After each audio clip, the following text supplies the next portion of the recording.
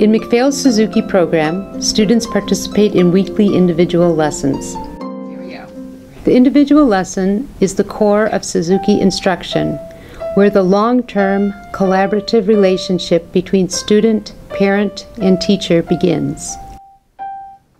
Suzuki students begin lessons at a young age, and parents play a key role in their instruction by attending the weekly lessons and monitoring daily home practice until the child is old enough to gain independence. The student learns to focus on the basics of tone production and technical skills by mastering small steps customized by his or her teacher. You can learn more about MacPhail Suzuki and fill out our online placement form at macphail.org slash Suzuki Talent Education.